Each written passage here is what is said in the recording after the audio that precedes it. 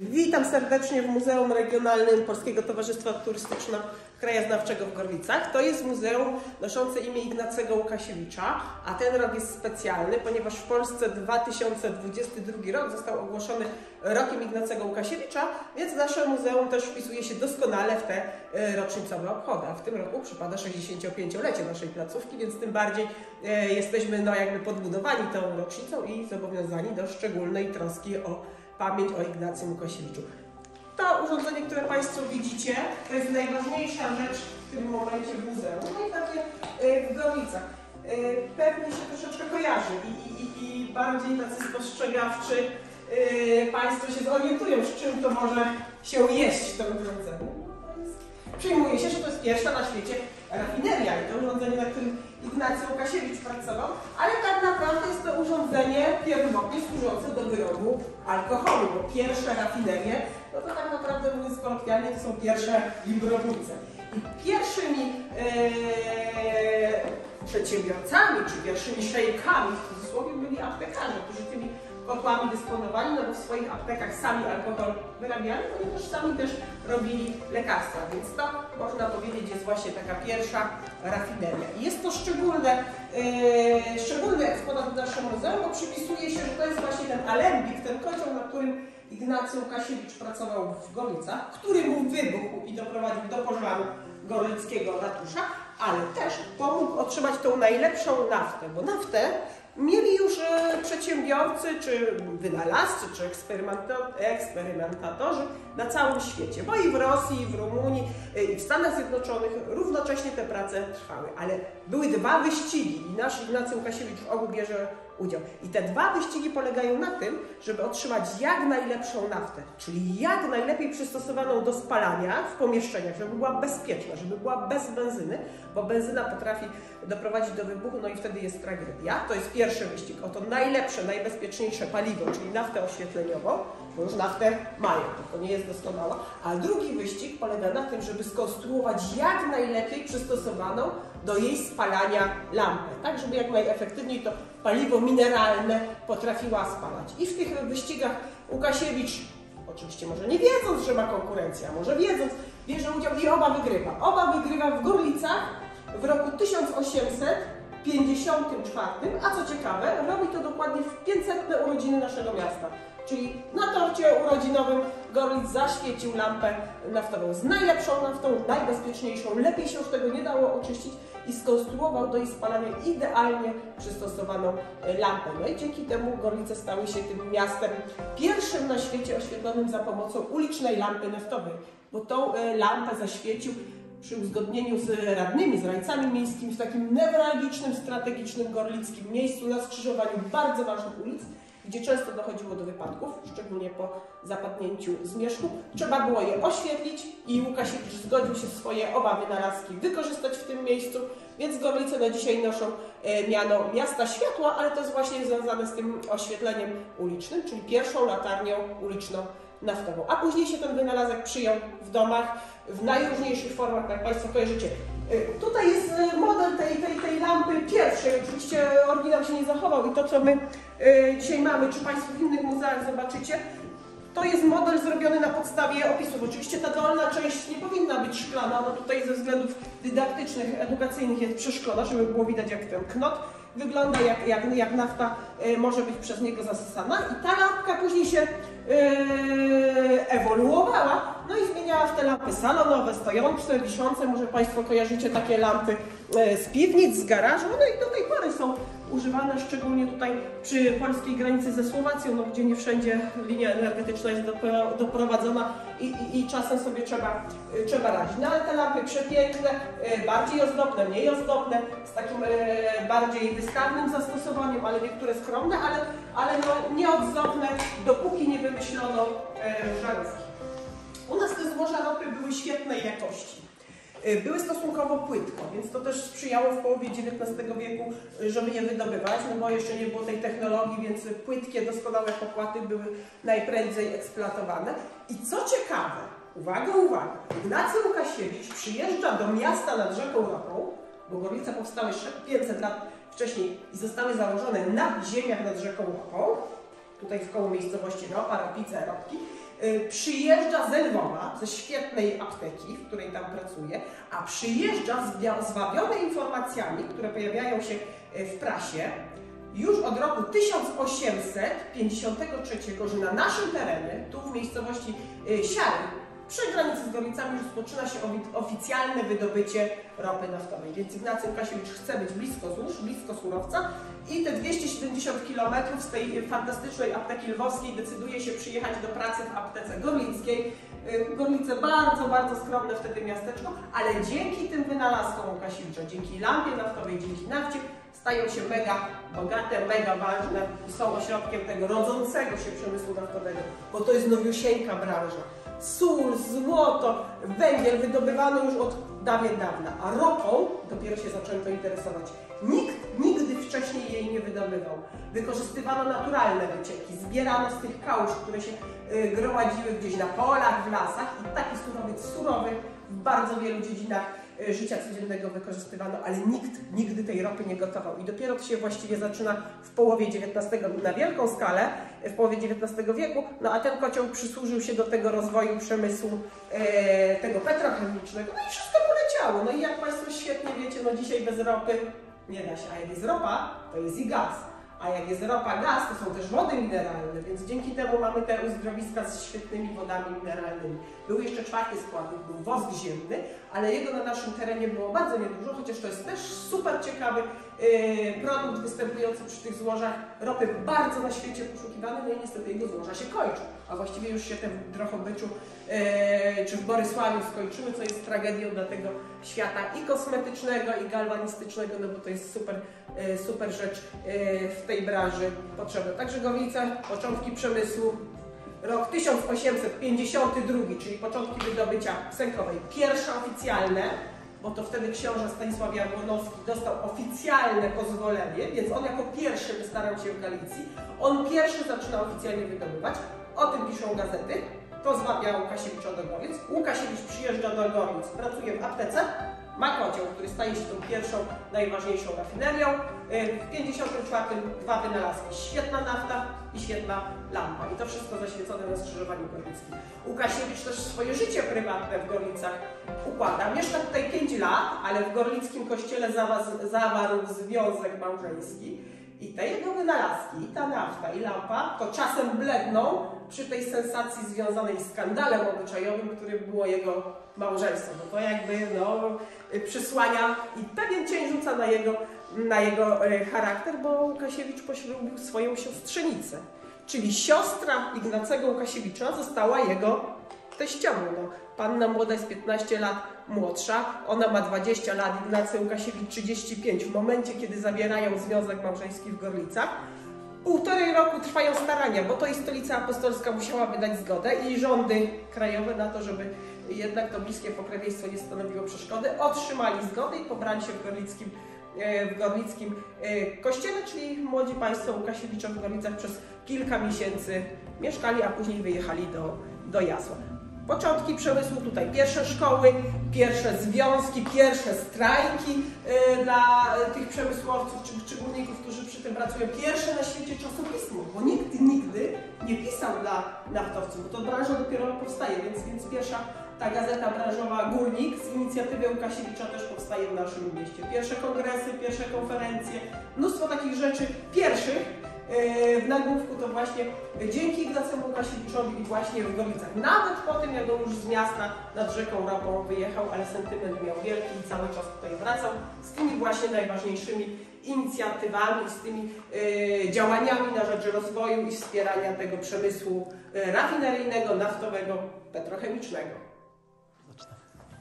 Jesteśmy w piwnicach, znajdujemy się pod e, budynkiem, pod jednym z budynków, w których mieści się Muzeum e, Regionalne PTTK w Gorlicach. To są oryginalne piwnice, najprawdopodobniej z roku 1780.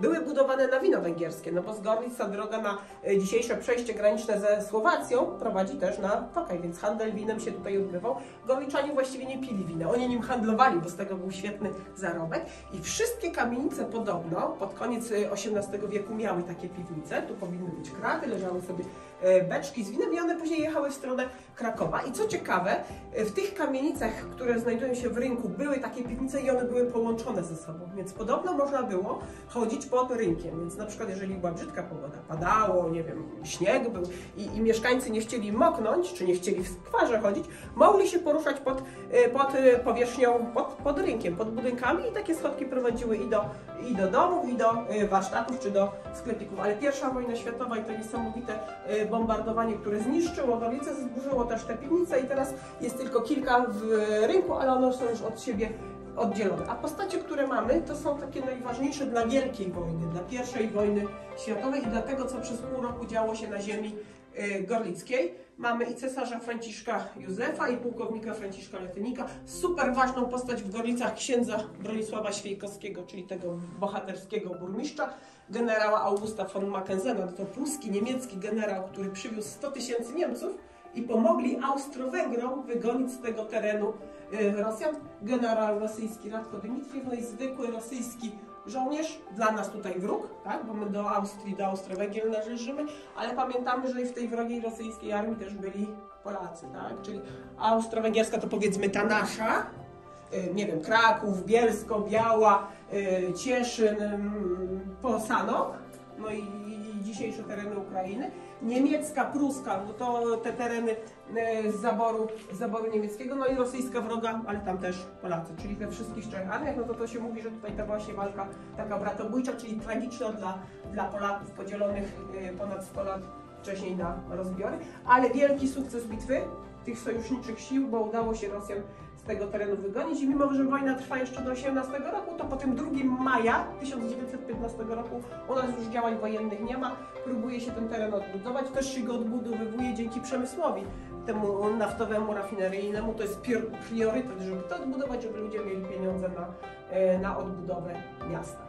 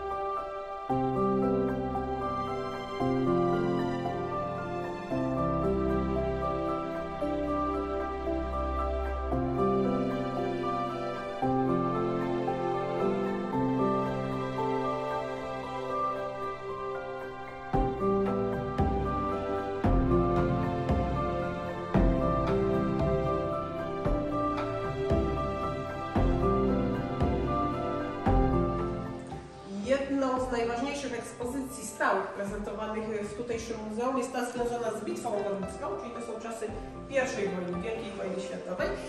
I ciekawy, zaskakujący eksponat, czy zbiór właściwie, to są owady, które na naszym terenie występują, ale one stały się inspiracją do tego, żeby stworzyć na budynkach gorlickich murale. I jeżeli się przejdzie przez e, miasto, w niektórych miejscach, trzeba wiedzieć, w których są mapki, można, można poszukać, są takie dwumetrowe, wielkie namalowane, więc może być polny konik, może być ważka, mogą być, nie wiem, nadobnice alpejskie, albo wspaniała bojsiłka, e, która stała się e, prawdziwym hitem. To jest wszystko zainspirowane kolekcją księdza Bronisława Świejkowskiego, który był w czasie I wojny światowej burmistrzem Gorlic. Czyli w momencie, kiedy się Rosjanie tutaj zbliżali jako e, wrogowie w 14 roku, władze cywilne miasto opuściły. Kogoś trzeba było wybrać. Mieszkańcy, ci, którzy pozostali, musieli kogoś wybrać, kto będzie ich reprezentował przed zbliżającymi się wrogimi Rosjanami. I wybór padł księdza Bronisława Świejkowskiego, który znany był z działalności charytatywnej, takiej e, humanitarnej, ale miał też pomysł taki renesansowy, humanistyczny. On się właściwie wszystkim interesował. Nie urodził się w Gorlicach, ale całe życie z Gorlicami był związany. I on tych, e, mówiąc kolokwialnie, rubali miał przeszło 30 tysięcy. Jego kolekcja była tak e, wybitna, czy, czy, czy na tyle ciekawa, że przyjeżdżali profesorowie e, z różnych części Europy, żeby się z tym zapoznać, ale też podróżnicy, jak dzisiaj do Afryki, do, do, do, do yy, Azji się wybierali i tworzyli kolekcje tam, czy dla uczelni, czy swoje prywatne, to zawsze jakiś eksponat księdzu przywozili. I miał tą kolekcję no, niesamowitą, ale w czasie I wojny, w czasie tych półrocznych walk, które tutaj trwały, jeden z pocisków zniszczył jego dom, on nie mieszkał na plebanii, mieszkał w prywatnym yy, gorlickim domu, tutaj nie, niedaleko kościoła i cała, cała kolekcja została yy, zniszczona, a życie uratowała mu małpka Popo, którą można zobaczyć w drugiej sali.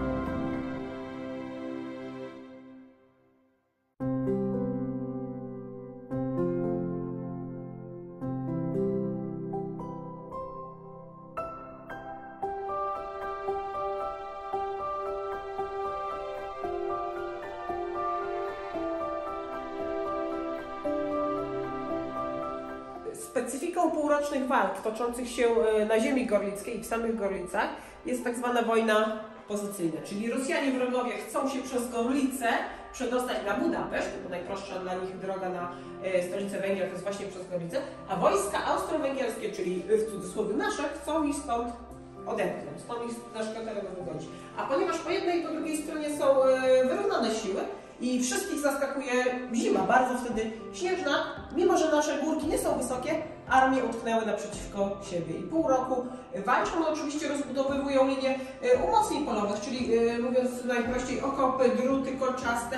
Odległość między tymi jednostkami walczącymi jest też taka, że oni nie potrafią się w jakiś skuteczny sposób zaskoczyć, bo po prostu widzą swoje działania, są się w stanie e, wcześniej przygotować. I przez powiedzmy 5 miesięcy próbują raz Austro-Węgrzy przegonić e, Rosjan, raz Rosjanie odepchnąć czy wypchnąć, przepchnąć w stronę, stronę granicy e, te wojska austro-węgierskie. No i oczywiście ten front przetacza się przez te miejscowości tutaj naszego regionu, które są niesamowicie w wyniku działań zniszczone i rafinerie, i kopalnie, czyli to, co budowało przed pierwszą wojną bogactwo tego terenu, bo my nie zapominajmy, że zanim przyjechał Ignacy Łukasiewicz, zanim nastąpił boom naftowy, to właśnie na tym terenie miały miejsce wydarzenia określone jako rzeź galicyjska, czy rabacja galicyjska, czyli to są te wystąpienia z lat powiedzmy 1846, kiedy chłopi występowali przeciwko szlachcie, oczywiście podburzeni przez władze jeszcze wtedy austriackie, ale, ale no to wynikało z głodu, to wynikało z biedy, z, z ciemnoty pewnego rodzaju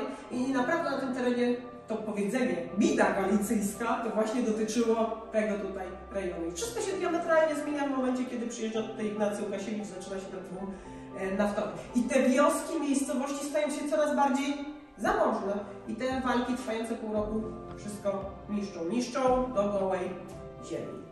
Jesteśmy przy jednym z najciekawszych e, obiektów w muzeum, czy jednej z najciekawszych pomocy dydaktycznych. To jest makieta odwzorowująca fragment ziemi gorlickiej, mniej więcej 30 km. I tutaj jest pokazane i rozmieszczenie jednostek walczących w dniu bitwy gorlickiej, czyli to jest ten dzień 2 maja 1915 roku, półroczne walki kończą się tą bitwą. Pokazane jest rozmieszczenie okopów, rozmieszczenie artylerii i też odwzorowane jest elektronicznie za pomocą diod to, jak w pierwszym dniu walk przesuwają się wojska austro-węgierskie i niemieckie i wypychają na wschód Rosjan. Bo całe walki zaczynają się tutaj na tym odcinku gorlickim, można tak w skrócie powiedzieć, i trwają od 2 maja równiuteńkie 50 dni. I w 50 dniu yy, Rosjanie zostają wypchnięci ze Lwowa, czyli od Gorlic do Lwowa ten odcinek w 50 dni został pokonany. Mamy yy, zaznaczone Gorlice, wtedy niewielkie, prawie 7-tysięczne yy, miasteczko. Mamy zaznaczone te najważniejsze obiekty w Gorlicach, czyli tą naszą chlubę jedną z pierwszych y, rafinerii naftowych, potężną rafinerię. To była trzecia największa na terenie y, Austro-Węgier. Mamy też zaznaczoną ciekawą rzecz, bo mamy puste pole.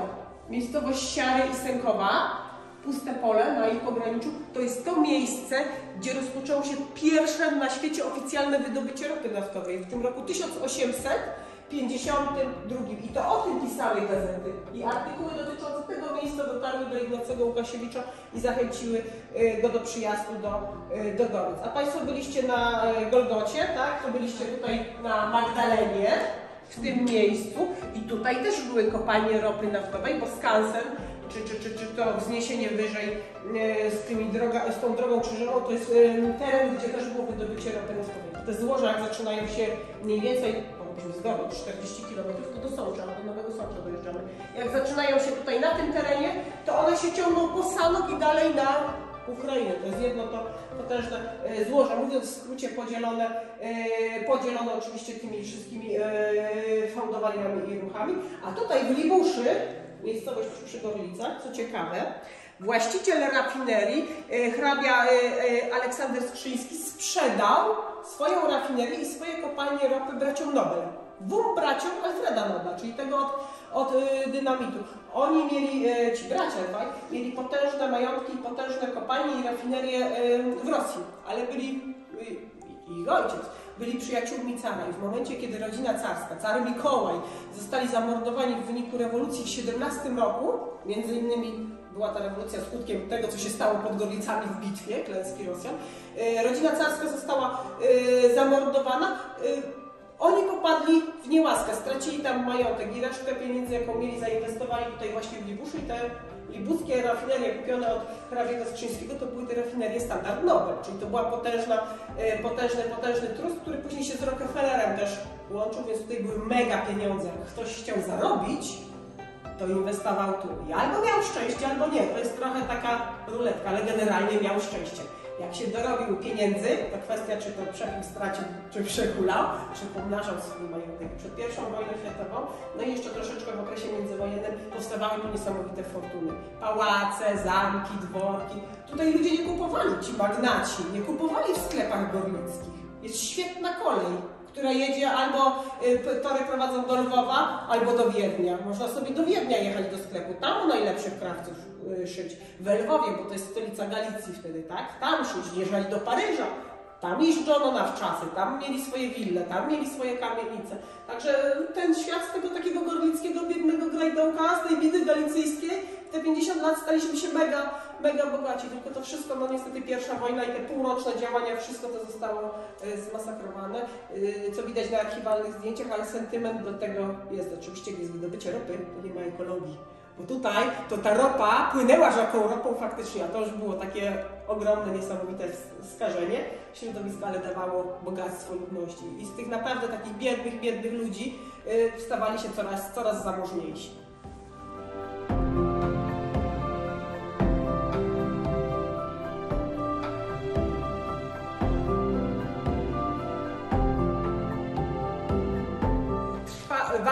Trwały tutaj w czasie I wojny światowej pół roku, bo właściwie od e, 15 listopada 1914 roku do 2 maja, do dnia tej bitwy gorlickiej, roku 1915. W tym czasie zginęło ogromnie dużo żołnierzy i oczywiście trzeba było ich pochować. Dowództwo austro-węgierskie i niemieckie wiedziało, że to jest potężna bitwa, zwycięska, która miała niesamowite znaczenie. Już wtedy w 15 roku y, o tym y, doskonale wiedzieli, więc powołano ten Wydział Grobów Wojennych y, słynny, który zaczął się, y, zajął się budową cmentarzy, ewidencją poległych, y, całą tą sprawą też y, tą częścią y, organizacyjną i powstało 400 cmentarzy w tych 11 okręgach cmentarnych. No, szacuje się już w tym momencie, że tam będzie około 100 tysięcy żołnierzy pochowanych z tych trzech walczących armii, czyli z austro-węgierskiej, niemieckiej i rosyjskiej. Wszystkich chowano z jednakowym szacunkiem, aby wszystkich y, poległych tutaj uhonorować. I co ciekawe, że nawet dzisiaj, nawet współcześnie przy budowie domów, przy budowie dróg, wodociągów, kanalizacji, czasem no, podczas takich prac ziemnych te kości wychodzą i wychodzą przy nich e, elementy uzbrojenia, umundurowania, wyposażenia żołnierskiego, to to ewidentnie wskazuje, że, że akurat to są szczątki żołnierzy z czasów pierwszej, pierwszej wojny światowej i te szczątki dokładane są do cmentarzy wojennych, to oczywiście tam konserwator decyduje e, za każdym razem indywidualnie, do którego, do którego cmentarza dołoży, a te rzeczy znalezione przy, przy, przy tych szkieletach trafiają do naszego muzeum. I tutaj akurat mamy e, rzeczy znalezione w Gorlicach podczas prac ziemnych e, w 2017 roku i to są e, elementy i wyposażenia, i umundurowania należące do żołnierza prawdopodobnie z pułku niemieckiego, pochodzącego, żołnierz pochodził prawdopodobnie z terenu poznańskiego. Ksiądz Siekowski jest uszkodzonym okiem, bo zanim został księdzem był e, wojskowym, miał narzeczoną, datę ślubu mieli wyznaczoną, ale spadł podczas e, ćwiczeń jazdy konnej, przed pierwszą wojną. Koń mu stanął kopytem na twarzy i zmasakrował mu część twarzy, więc musieli przełożyć datę ślubu, a jak mu się, jak już wyzdrowiał, narzeczona go zobaczyła takiego szpeconego, to powiedziała, że za drzewala nie wyjdzie i go zostawiła. I on stwierdził, że żadna kobieta, go nigdy nie pokocha, więc pójdzie na księdza. No i poszedł na księdza. Ale w momencie, kiedy były tutaj te działania wojenne, no to się świetnie na burmistrza nadawał, no bo był żołnierzem wcześniej, nie? Więc doskonale e, potrafił z tymi Rosjanami, wrogami e, tutaj przez pół roku e, obchodzić się. Nieraz w krótkich żołnierskich słowach sprawę załatwiał, co, co, co budziło respekt u tych komendantów miasta, ale, ale no, ludność Gorlic jest niesamowicie za to, za to wdzięczna i postać taka niesamowicie z miastem, z miastem związana. Wszystkie imieniny, wszystko, wszystko z księdzem Świejkowskim to jest taka postać numer jeden w historii Gorlic.